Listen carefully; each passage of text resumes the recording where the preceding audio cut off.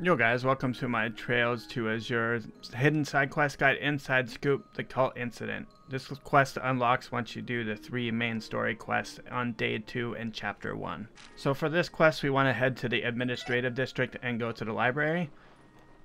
And then there's going to be two people talking by the board. You want to cooperate with Nielsen and he's going to ask you three questions. The first one, you want to do all of the above. The second one, you want to do the high priest. And the third one, 500 years ago. If you answer all those questions right, you get all the bonus DP. And that's it for the quest. If you guys enjoyed the video, please hit the like and subscribe button. It'll help the channel out a lot. Thanks for watching and have yourselves a great day.